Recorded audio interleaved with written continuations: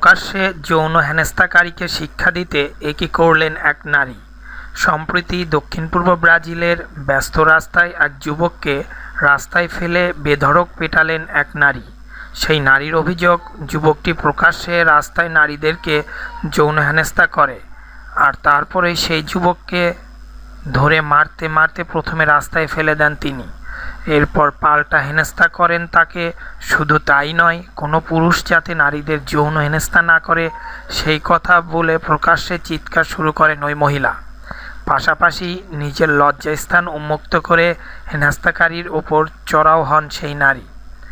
আর সেই ভিডিও প্রকাশ্যে আসাতেই তা ভাইরাল হয়ে যায়। ঘটনার সময় আশেপাশের বেশ কিছু মানুষ রীতিমতো হতভম্ব হয়ে যায়। এবং তারাই সেই ভিডিও ধারণ করে তা ইন্টারনেটে ছড়িয়ে দেন।